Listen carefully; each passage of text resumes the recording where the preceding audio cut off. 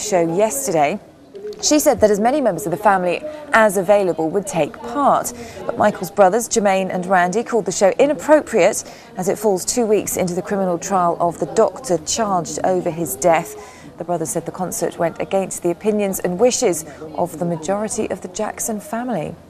But probably not the majority of Jackson fans. I expect they would love to see a yeah, tribute I, concert. I do. they? Funny, my nine-year-old, he's so into him. Is he? Yeah, Well, it should really be people of my generation, you know, who grew up with him. moonwalking I should be doing all that, whatever he does. Well, there you are. But there you are.